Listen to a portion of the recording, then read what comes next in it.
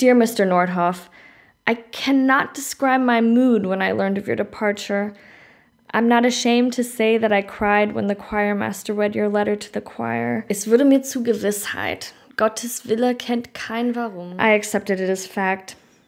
God's will knows no why. Ich wollte tapfer sein, das Unvermeidliche tragen, und doch musste ich unterlegen. Nun sagen Sie mir bitte, aber es in Ihrem Interesse liegt. I wanted to be courageous, bearing the unavoidable, but I had to succumb. Now, Tell me, please, whether it is in your interest that we get to know each other more closely, to test each other. Dear Miss Laube, our correspondence has reached a point beyond which it can only be advantageously conducted if we are completely honest with ourselves and each other. And this condition forces me to decide whether I, for the first time in my life, should trust a person with things that I have heretofore kept for myself at the very depths of the shrine of my heart. Wir leben in einer schweren Zeit. Trug und Schein verhüllen die Wahrheit. Alle Menschen tragen irgendeine live hard times. Swindles and shams cloak the truth. Everyone wears some kind of mask. Raw lust and cupidity show up everywhere. And it is a stroke of luck a blessing if one can remain straight and unbowed, if one does not succumb to temptation and can salvage one's faith and yearning for what is good, true, and noble.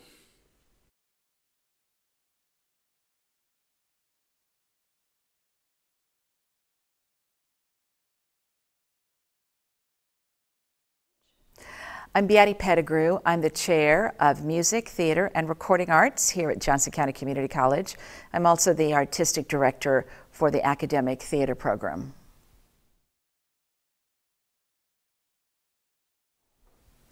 You know, I have a German background. My mother's German, and she was actually, I believe, 10, 12, 14 years old during the war. And so I would listen to her stories growing up and was very intrigued with with her point of view, um, which is very different from the American point of view. So when I, when Andrew called and asked if I would be interested, there was an immediate affinity to the subject matter. So that's what drew me to it. I also enjoy directing readers' theater type pieces, pieces um, that are taken from non dramatic literature sources and converting them into theatrical performances. So we're doing a little bit of that with this project. Here's what we're doing. Um, and we'll see, we'll see if any of this is useful for Act One as well. Because it's so cumbersome to carry around the binder, I mean, it's it's really awkward. It right? is. I was wondering really if we were going to do that during. Yeah. So what we're what we're thinking about doing is when you guys stand up and you're walking around, you're going to take it as if you're going to take of paper, you're going to take the letter with you, right? The letter will just happen to be the particular part of the script. Also, with this project, we are, because it's a series of letters, we are trying to honor the fact that we are reading from letters, but because that might get a little old for the viewer, we're breaking it up some so that uh, there are opportunities for the actors to directly interact with one another. Um, and I think it's it'll provide a different performative experience for the audience. New Year's Day, 1940. Dearest heart, I'm so looking forward to building a nest with you for the first time ever to establish something in the world that is our own. A sign on one's door reading Nordhoff, and behind it, two people, Hilde and Roland. They're, those are their names. Someday it ought to be a parental home too, a shelter, a foothold, and a signpost for children. These are not audacious and grandiose goals, but they're in no way easy and small. And no longer quite so private.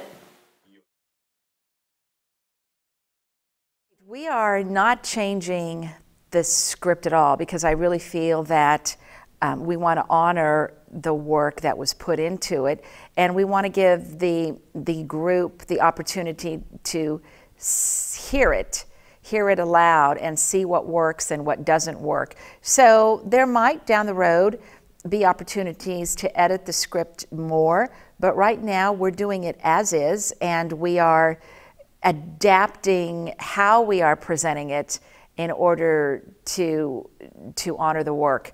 Uh, the trick is actually the space that we will be performing in for the first time. It's pretty much in the round or two sided, and it's a very, very small performance venue. So the original thought that we had in terms of how to present it is severely hampered and limited. So we are doing the project with two cafe, two old world uh, cafe bentwood type chairs and a couple of music stands and some projections and hopefully it will make sense to the audience and they can they can watch this love story unfold. So we're hoping that um, at the at the diastole, the audiences will be able to experience the love story between Hilda and and Roland. It's very intimate, very intimate space. You announced our engagement. Well, last Thursday I went, as always, to choir practice. A lot of people were already there. I greeted them indifferently and sat in my place and talked with Louise. No one noticed my ring. No one knew anything. It was so fun for me. She did not give away her secret? You know how she is. She couldn't hold herself back and asked loudly, well, have you still not yet congratulated our bride? Okay, hold. Yeah, and Sergey, there's there's nothing that should prevent you from just picking that doggone thing up and swinging it this way so that you can have more direct contact. Okay, yeah. Right? It looks, it's better to do that than to watch you struggle. Yeah. Okay. Right? Just do it. If, if you do it at a specific moment, quick movement, it'll be great with intent with a reader's theater type piece, and, and what I mean by that is the actors are not memorized. I mean, if, if we were going to memorize this particular script, we would have started a couple of months ago, and we simply didn't have the time to do that. So the actors will, will be carrying black notebooks um, with, with the pages in it, and it, and again, we're honoring the playwright's words, which is why it's actually better that we don't memorize it because we don't want the audience to get lost in in the acting of it. We want them to always remember these are letters. So in staging something like that, I mean, gosh, you could easily just have the, the folks sit in chairs and do nothing but read, but that that doesn't tell a good story. So so we're finding ways to to um, make the transitions between the scenes in, in terms of staging, in terms of movement, and create a variety of levels, again, to help point out the text in some provocative way. He gave a speech, but Okay, there's a problem, right? So you gotta get this thing all the way that way and, okay, all right. It's challenging, and I don't think there's a right or wrong answer in doing this, this type of theater. It's, it's a matter, it becomes kind of a visceral uh, feeling as to what will and will not work. So we'll see. We have another week and a half of rehearsals, and we're not, we haven't even scratched the surface yet. So we'll see what happens in the next week and a half. The staging at the, at the diastole is, is very unique in itself. It's not a real theater, so it wasn't, it's not configured for theatrical movement in the incredibly small footprint that is there. So that has been a real challenge. On either side of, of the performance space, on one side are a set of stairs, on the other side it's a, it's a fire pit, and the projection screen will be flying over that fire pit. And then the other two sides in, in different angles um, and steeply raked, the audience are the audience benches of seats. So it's tough because anytime you do things that are virtually in the round, you always, an actor always has their back to somebody, always. That's just the nature of, of in the round seating. So we have to keep those actors moving because an audience member will tolerate looking at a person's back for a short period of time, but once they're there too long, the audience gets a little irritated. So we have to keep these, these two actors moving, and not only the two actors, but then we have two other actors that are playing ensemble characters, a multitude of other minor characters. And so we have to figure out ways to get them into the world and then to take their seat back in the audience because the, the point is that they are coming from the audience. We're breaking that fourth wall in, in a sense. And um, it's, it's a way of, it's, it's Brechtian in nature, so that it's a way of commenting on the experience so that you, the audience member, you don't get emotionally involved in the actor or the character choices. He laid in wait for me on the stairs in the, in the crowd of people. But he's not leaving yet, is he? No, he's not, he, I have him standing in front of her when I move toward the stairs. Yeah, so just, just circle around, just circle around, yeah, okay, sir. He laid in wait for me on the stairs in the crowd of people. Okay, just a reminder, see, you both are playing it to me right now, we're seeing you. There's people over there. People have it, So the more profile you are, the more people will see you. Okay. Gotcha. Okay.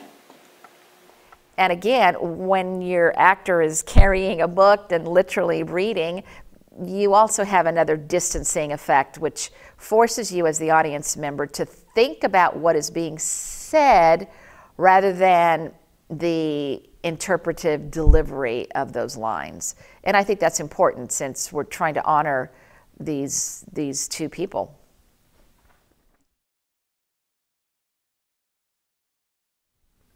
As we just began rehearsing, just, just uh, maybe two or three rehearsals so far, and so we haven't really, we haven't dug too deeply into it, but we already are experiencing challenges with, um, with the text in that they are truly letters. And obviously, they were first written in native um, language, and this group has translated them.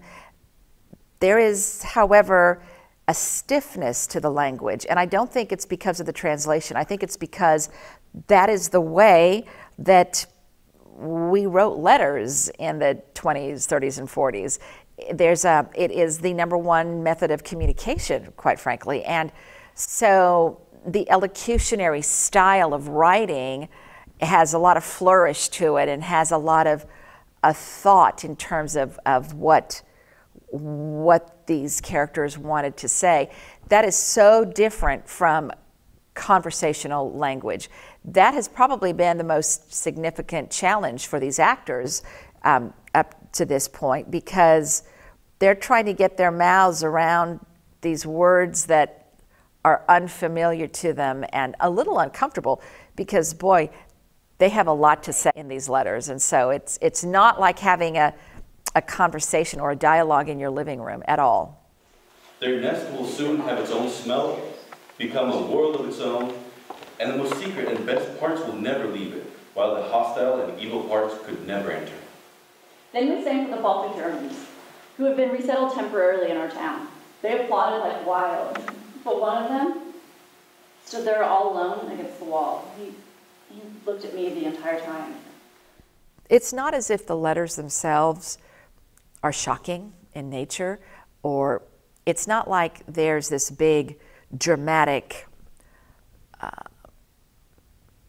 climax or resolution necessarily, um, which is what it would be if it was written as a play. Well, this isn't a play, these are letters. And so we want to honor that. At the same time, we're trying to turn it into some sort of a, a dramatic theatrical experience for the audience. There is, there is tension in that, and just in the nature of how that is written. So, our job, I think, is to figure out how to lessen that tension and and make it simple yet clear, um, so that the audience experiences what was happening to these two people. That's a real challenge for us right now.